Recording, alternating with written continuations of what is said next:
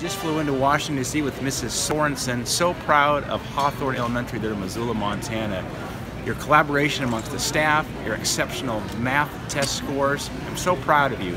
This is a great thing for Montana, a great thing for our country. You've made us all proud there, Hawthorne Elementary. Hi Hawthorne Hawks, my name is Gabe Jordan A, and I'm a proud graduate of Hawthorne Elementary.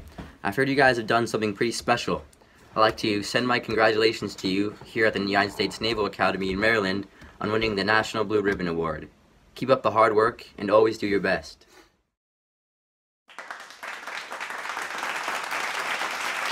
Thanks, everyone.